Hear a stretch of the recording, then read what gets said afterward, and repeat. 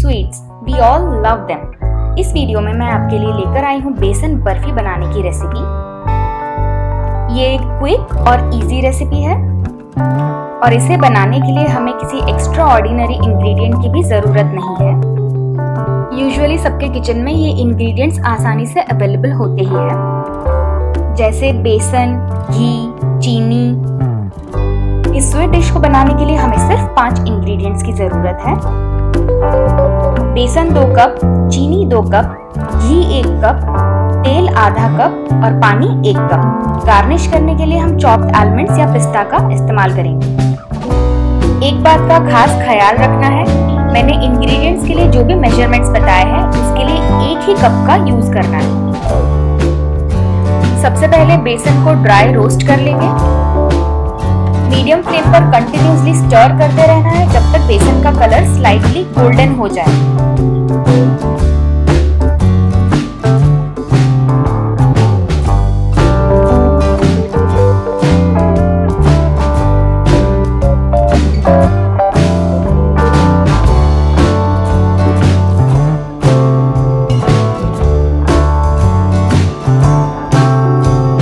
जैसे ही बेसन का कलर चेंज होकर स्लाइटली गोल्डन हो जाएगा। हम फ्लेम को ऑफ़ कर देंगे और रोस्टेड बेसन को साइड में रख देंगे। इसका यूज़ अब हमें बाद में है।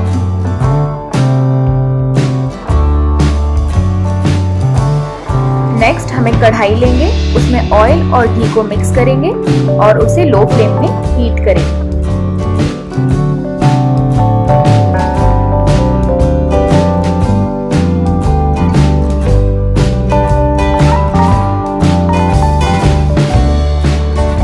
ऑयल के मिक्सचर को हमें ठंडा नहीं होने देना है, इसलिए हम गैस पर लो फ्लेम पर ही इसे रखेंगे।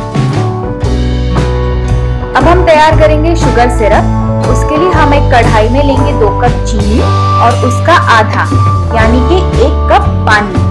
और मीडियम फ्लेम में कंटिन्यूसली स्टर करते हुए हम चीनी को पानी में डिजोल्व करेंगे।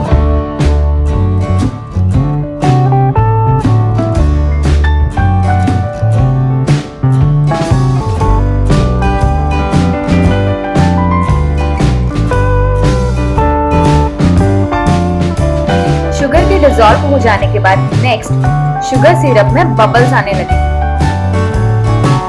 शुगर सिरप की वन स्ट्रिंग कंसिस्टेंसी होनी चाहिए और उसे चेक करने के लिए हम अपने थंब और इंडेक्स फिंगर के बीच में एक ड्रॉप शुगर सिरप लेंगे और चेक करेंगे ये एक स्ट्रिंग बन रहा है या नहीं। परफेक्ट वन स्ट्रिंग कंसिस्टेंसी वाला शुगर सिरप अब तैयार हो चुका है। जो बेसन हमने रोस्ट करके रखा हुआ था, अब हम उसे धीरे धीरे इस शुगर सिरप में ऐड करेंगे। हमें कॉन्टिन्यूसली स्टर करते रहना है सो दैट ये बेसन शुगर सिरप में अच्छे से मिक्स हो जाए और इसमें बिल्कुल भी लम्प्स ना रहे। हमने यहाँ रोस्टेड बेसन का यूज़ किया है। रोस्टेड बेसन का जो अरोमा होता है वो काफ़ी अच्छा होता है। अगर हम उसे बिना रोस्ट किए हुए बेसन से कंपेयर करें तो।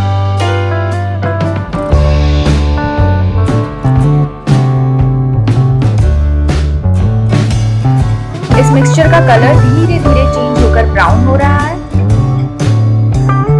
हमने जो ऑयल और घी का मिक्स लो फ्लेम पर रखा हुआ है, अब हम धीरे धीरे उसे इस मिक्सचर में ऐड करेंगे। कॉन्टिन्यूसली स्टर करते रहना है और अब आप देख सकते हैं इसमें धीरे धीरे बबल्स आने लगे काफ़ी अच्छा अरोमा आ रहा है इस मिक्सचर से। वैसे तो बेसन को हमने पहले रोस्ट कर लिया था, पर घी और ऑयल का जो हॉट मिक्सचर हम इसमें ऐड कर रहे हैं, उससे बेसन अच्छे से कुक हो जाएगा। और उसी की वजह से इस मिक्सचर का इतना अच्छा अरोमा आ रहा है।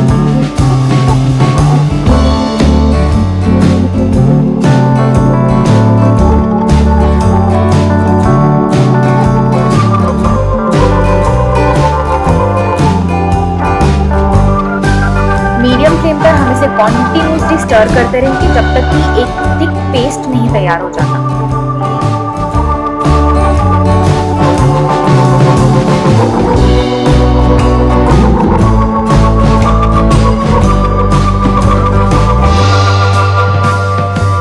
अब ये बिल्कुल अच्छे से पेस्ट तैयार हो चुका है।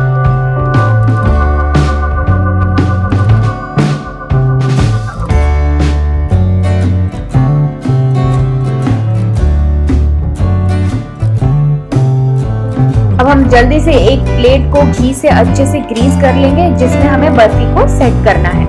इस तरीके से चारों तरफ़ से अच्छे से घी को स्प्रेड करेंगे।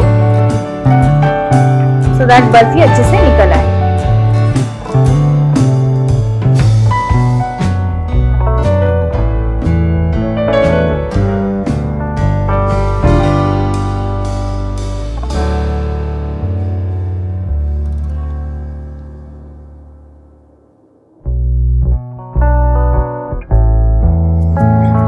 अब हम बर्फ़ी के मिक्सचर को तैयार किए हुए ग्रीस्ड प्लेट में ट्रांसफ़र कर देंगे और इवनली उसे स्प्रेड कर लेंगे।